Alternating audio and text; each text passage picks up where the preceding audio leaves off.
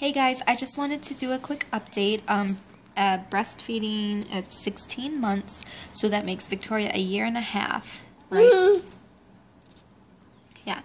Um, we still do night nursing if she wakes up, but because we've been playing outside, she hasn't been waking up very much in in the middle of the night to nurse, but in the morning she'll wake up and the first thing she does is nurse and then usually um, she'll ask for it maybe three or four times a day or three or four times that day. And then before bed sometimes she'll nurse. It honestly just depends um, it just honestly just depends what what she's feeling like. And if she's busy and she's not really paying attention then she won't nurse. But if we're inside like say it's raining it's raining or something and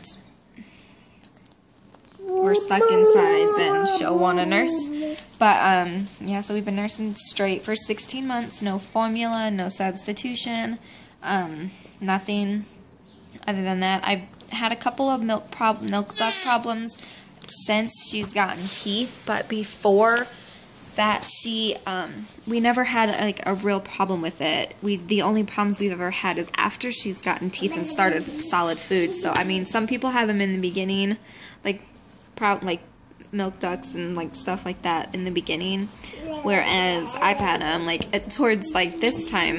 I don't know. It just it just depends on like how she's feeling that day. Um, like if she wants to nurse a lot, then she'll nurse a lot if she doesn't want to nurse, nurse a lot, then she won't nurse a lot. So it's really up to her. She makes her own schedule with nursing. Um, so, I mean, the code word is booby, and she knows what that word means, and she'll pull my shirt down and say the word, and then she'll nurse.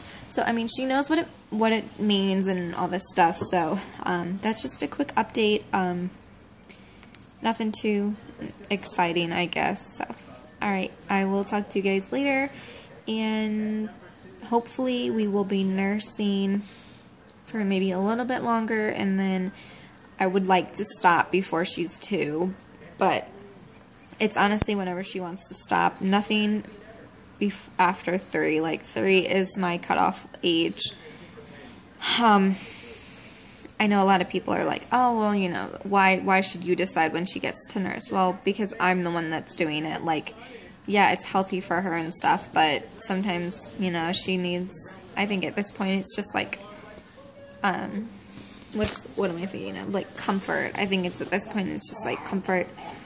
So, yeah, so I mean, it's, we'll just see what happens. So, alright, thanks guys.